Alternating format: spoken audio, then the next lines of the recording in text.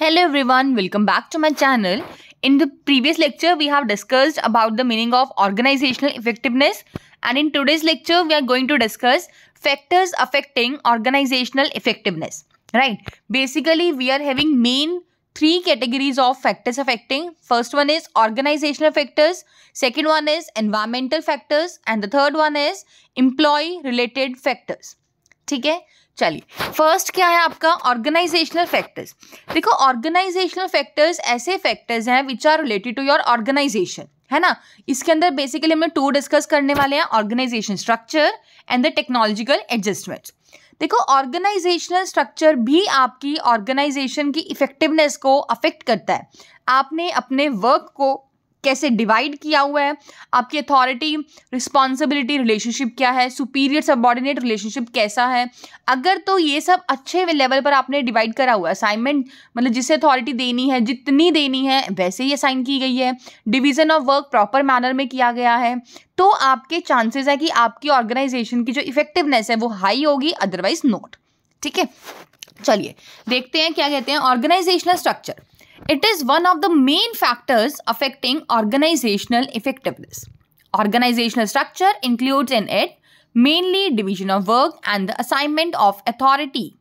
If both these parts continue working properly, the hope for organizational effectiveness can be cherished, otherwise not अगर ये सब proper manner में चलता जाएगा division of work भी अच्छे से होगी और असाइनमेंट ऑफ़ अथॉरिटी भी अच्छे से प्रॉपरली दी जाएगी तो आपके चांसेस है कि ऑर्गेनाइजेशन इफ़ेक्टिव होगी अदरवाइज़ नहीं।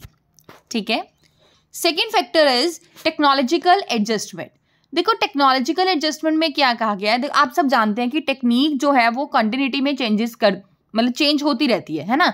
तो अगर तो आपकी ऑर्गेनाइजेशन टाइमली बेसिस पर अर्लीस्ट पॉसिबल लेवल पर उसे एक्सेप्ट कर लेगी उन टेक्नोलॉजिकल चेंजेस को, फिर तो उनके चांसेस हैं कि वो अपने, जो भी उनके गोल्स हैं मतलब अपनी ऑर्गेनाइजेशन की इफेक्टिवनेस को अचीव कर सकते हैं। बट अगर वो टेक्नोलॉजिकल जो चेंजेस आ रहे हैं अराइज हो रहे हैं, उनको देखो एक्सेप्ट तो कर रहे हैं बट टाइमली बेसिस पर नहीं कर रहे तो उनके हाथ से वो अपॉर्चुनिटी निकल जाएगी। तो उस केस में आपकी जो ऑर्गेनाइजेशन है इफ़ेक्टिव नहीं मानी जाती है। तो क्या कहते हैं? टेक्नोलॉजिकल एडजस्टमेंट्स में the technological growth taking place continuously affect the organisational effectiveness what is needed is to accept the technological changes at the earliest possible. Otherwise, failure in achieving organization organisational effectiveness is inevitable अगर आप ऐसा नहीं करते हैं तो आपकी जो organisation है ना, वो कभी भी इफेक्टिवनेस अचीव नहीं कर सकती है। ठीक है? तो ये आपके दो फैक्टर्स थे जो आ रहे हैं आपके ऑर्गेनाइजेशनल फैक्टर्स के अंदर। फ़र्स्ट था organisation structure and the second one is technological adjustment now main second factor क्या है आपका? एनवायरमेंटल फैक्टर्स देखो एनवायरमेंट भी हमारी ऑर्गेनाइजेशन की इफेक्टिवनेस को अफेक्ट करता है। अब वो कैसे करता है, कितने एनवायरमेंट है, वो सब आप अभी पढ़ेंगे। देखो बेसिकली क्या होता है, हमारे पास दो एनवायरमेंट है, या तो इंटरनल एनवायरमेंट होगा, या फिर आपका एक्सटर्नल इंटरनल में जैसे कि आपकी पॉलिसीज़ क्या हैं ठीक है? आपके ऑब्जेक्टिव्स क्या हैं? मैनेजमेंट इंफॉर्मेशन सिस्टम कैसा है? प्रोडक्शन uh, मेथड क्या लगा रहे हो आप? प्रोडक्शन कैपेसिटी कितनी है? अगर ये सारे पॉइंट जो हैं आपके पॉजिटिव मैनर में चलेंगे तो आपकी ऑर्गेनाइजेशन इफ़ेक्टिव होगी। ठीक है? अदरवाइज़ नॉट और एक्सटर्नल इन्वायरमेंट कौन सा होता है? ऐसा इन्वायरमेंट जिसके ऊपर आपका कंट्रोल नहीं होता। बिज़नेस जितने भी एफर्ट्स लगा ले बट उस उन फैक्टर्स को कंट्रोल नहीं कर सकता। हालाँकि इंटरनल इन्वायरमेंट को आप कंट्रोल कर सकते हो। ठीक है ना? कुछ एफर्ट्स लगा के लाइक आपकी ऑब्जेक्टिव है। ऑब्जेक्टिव आपको लग रहा है कि वो फेवरेबल नहीं है तो आप उसको चेंज कर सकते हो, क्योंकि वो आप ही के हाथ में है। बट एक्सटर्नल जो एनवायरमेंट के फैक्टर्स होते हैं ना, आप उन्हें कभी भी चेंज नहीं कर सकते हो। उनके ऊपर कभी भी बिज़नेस का कंट्रोल नहीं होता। हाँ कुछ एफर्ट्स लगा के उन्हें मतलब कुछ एक्सटेंड तक मिनिमाइज किया जाता है उनके इम्पैक्ट्स को। ठीक है? और एक्सटर्नल में आते हैं, जैसे आपका इकोनॉमिक एनवायरमेंट है पॉलिटिकल सोशल लीगल टेक्नोलॉजिकल ये सब। ठीक है? चलिए, पढ़ते हैं एनवायरमेंटल फैक्टर्स में। The environmental factors have a great effect on the organizational effectiveness. The environmental factors are of the two types. First one is internal environment. Internal environment देखो क्या कहते हैं It refers to those factors which affect the business and are present within the business itself and are under the control of the business. ये ऐसे factors होते हैं जो business को अफेक्ट करेंगे और ये प्रेजेंट भी होते हैं बिज़नेस के अंदर ही ठीक है? और बिज़नेस का इन फैक्टर्स के ऊपर कंट्रोल भी होता है। It includes the following like आपका objectives policies organisational structure management information system production method productivity या फिर प्रोडक्शन कैपेसिटी ठीक है? तो ये क्या कहते हैं? If all the above mention factors are positive अगर ये सभी फैक्टर्स आपके पॉजिटिव होंगे only then the organisational effectiveness can be expected आप तभी एक्सपेक्ट कर सकते हो कि आपकी ऑर्गेनाइजेशन जो है वो इफ़ेक्टिव मानी जा रही है। अगर ये सब फैक्टर्स आपके पॉजिटिव नहीं है नेगेटिव हैं तो कभी भी आपकी ऑर्गेनाइजेशन जो है वो इफ़ेक्टिव uh, नहीं मानी जाती है। क्लियर चलिए अब एनवायरमेंटल का सेकेंड पार्ट क्या है? एक्सटर्नल एनवायरमेंट एक्सटर्नल इन्वायरमेंट देखो क्या कहता है? It refers to all those factors which influence the business ये सभी वो उन फैक्टर्स को इंक्लूड करता है जो बिज़नेस को इन्फ्लुएंस तो करते हैं, ठीक है? And are present outside the business लेकिन ये बिज़नेस के अंदर प्रेजेंट नहीं होते बिज़नेस के आउटसाइड प्रेजेंट होते हैं. And the business has not control over these factors और बिज़नेस का इन फैक्ट मतलब इन फैक्टर्स के ऊपर कोई भी कंट्रोल नहीं होता है right right? It includes the following जैसे कि आपका इकोनॉमिक एनवायरमेंट है political environment social environment legal and technological environment ठीक है? अगेन सेम वही बात बोली जा रही है। If the above mention factors are positive अगर जितने भी आपको ऊपर फैक्टर्स बताए गए हैं, ये सब पॉजिटिव होंगे only then the organisational effectiveness can be expected otherwise not clear है? तो अभी तक हमने डिस्कस किया है। फ़र्स्ट क्या था organisational factors and second one is environmental factors ठीक है? नाउ अब आता है आपका एम्प्लॉय रिलेटेड फैक्टर्स देखो एम्प्लॉय रिलेटेड फैक्टर्स क्या होते हैं? आपकी ऑर्गेनाइजेशन के जो भी मेंबर्स हैं, जो स्टाफ हैं वर्कर्स हैं एम्प्लॉयज़ हैं, उन सबका बहुत ही क्रूशल रोल होता है। है ना? अब उनका क्या गोल है? उनके क्या बिहेवियर है आपके ऑर्गेनाइजेशन के प्रति? या उनका माइंडसेट कैसा है? परसेप्शन कैसी है उनकी? तो ये सब कुछ अफेक्ट करता है आपके ऑर्गेनाइजेशन को। अगर तो ये सब कुछ पॉजिटिव मैनर में होगा, ठीक है? तो आपके ऑर्गेनाइजेशन इफ़ेक्टिव मानी जाएगी। अगर इनका जो आपकी तरफ़ बिहेवियर है या इनका परसेप्शन है माइंडसेट है मोराल है, ये सब कुछ डाउन होगा तो आपकी ऑर्गेनाइजेशन कभी भी इफ़ेक्टिव नहीं मानी जाएगी। ठीक है? तो इंप्लॉय रिलेटेड फैक्टर्स भी आपकी ऑर्गेनाइजेशन इफेक्टिवनेस को अफेक्ट करते हैं। क्या कहते हैं? देखो employees are the important part of an organisation their behaviour and goals have a deep influence on the organisational effectiveness if their behaviour towards the organisation is positive only then the organisational effectiveness will be realised otherwise not अगर इनका behaviour आपकी organisation के प्रति positive होगा, सिर्फ़ और सिर्फ़ आप तभी एक्सपेक्ट कर सकते हैं अपनी ऑर्गेनाइजेशन की इफेक्टिवनेस अगर इनका बिहेवियर पॉजिटिव नहीं है तो आप ये कभी भी एक्सपेक्ट नहीं कर सकते.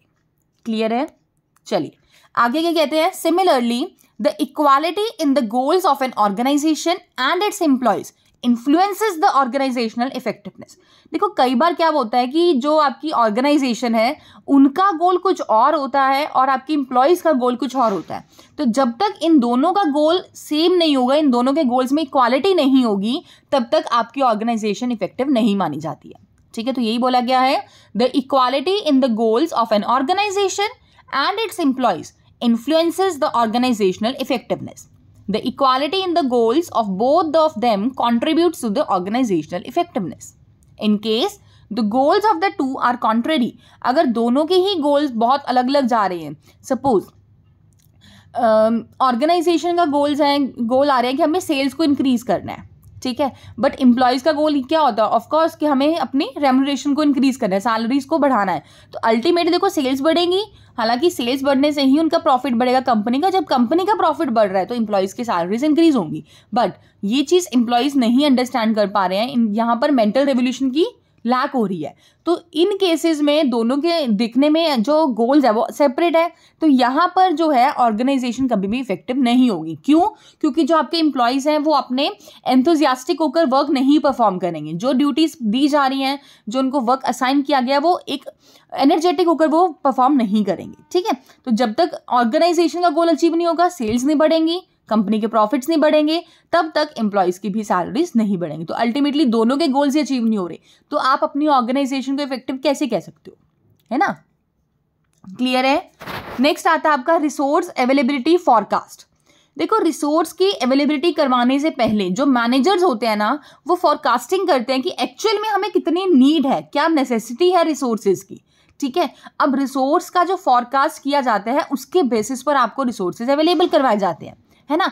अगर ये रिसोर्स की जो फॉरकास्टिंग की गई है, अगर तो ये करेक्ट है तो आपके ऑर्गेनाइजेशन में रिसोर्सेज भी ठीक आएँगे। मतलब जितनी नीड है उतने रिसोर्सेज आ जाएँगे ना? तो और जब रिसोर्सेज प्रॉपर है आपके पास तो आप अपने जितने भी गोल्स हैं, जो भी एक्टिविटीज़ हैं, वो अच्छे से परफॉर्म कर सकोगे। तो अल्टीमेटली आपकी ऑर्गेनाइजेशन की इफेक्टिवनेस बढ़ जाएगी। बट अगर आपने फॉरकास्टिंग ही अच्छे से नहीं की है सपोज़ आपको एक्चुअल में हंड्रेड रॉ मटेरियल्स या कुछ भी आप प्रोडक्ट चाहिए थे बट आप फॉरकास्टिंग कर रहे हो, अब वहाँ पर आपने लिख दिया कि फिफ्टी चाहिए। जब आप प्रोडक्शन करने लगे हो तो आपको पता चल रहा है कि मेरे पास तो रॉ मटेरियल कम है। और जब रॉ मटेरियल कम है प्रोडक्शन कम हो रही है डिमांड कम फुलफिल कर पा रहे हो तो अल्टीमेटली आपकी जो इफेक्टिवनेस है, वो भी आपकी कम शो होगी। ठीक है? तो क्या कहते हैं? For the realisation of organisational effectiveness the managers forecast the necessity of resources on the basis of this forecast the resources are made available if the forecast is correct only then the organizational effectiveness can be realized, otherwise not. Last one is optimum utilisation of resources देखो resources को available करवाना ही सिर्फ़ motive नहीं होता। उन resources को आप कैसे यूज़ कर रहे हो, ये भी बहुत ज़्यादा इंपॉर्टेंट है। अब आपने रिसोर्सेज तो देखो हंड्रेड चाहिए थे। आपको raw material hundred units provide करवा दी गई है। बट अगर आप वो हंड्रेड यूनिट्स को अच्छे से यूज़ ही नहीं कर रहे हो, उससे आउटपुट ही नहीं बना पा रहे हो तो उन रिसोर्सेज को अवेलेबल करवाने का भी कोई यूज़ नहीं होगा। ठीक है? तो नेक्स्ट पॉइंट आपका यही बोलता है कि ऑप्टिमम यूटिलाइजेशन ऑफ़ रिसोर्सेज अगर आप रिसोर्सेज को अच्छे से यूज़ करते हैं तो भी आपकी ऑर्गेनाइजेशन इफेक्टिवनेस इंक्रीज होगी।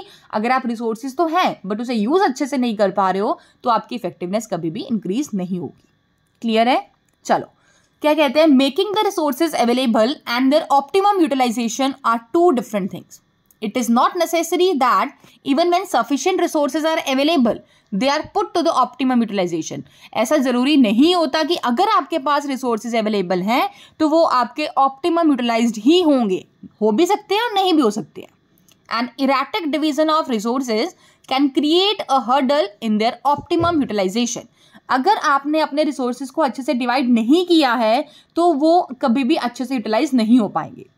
Therefore such an effort should be made as makes it possible to put the resources to optimum utilisation तो आपका एक एफर्ट इस तरफ़ भी होना चाहिए कि अगर आप रिसोर्सेज अच्छे से अवेलेबल करवा रहे हो, साथ ही साथ ऐसे भी एफर्ट्स लगाओ कि उन रिसोर्सेज का ऑप्टिमम यूटिलाइजेशन भी किया जा सके।